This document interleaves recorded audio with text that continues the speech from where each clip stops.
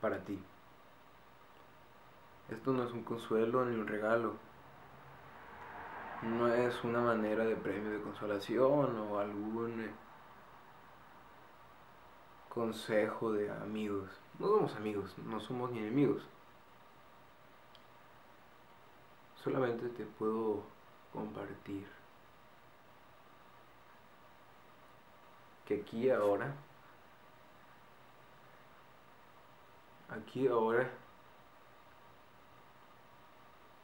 tú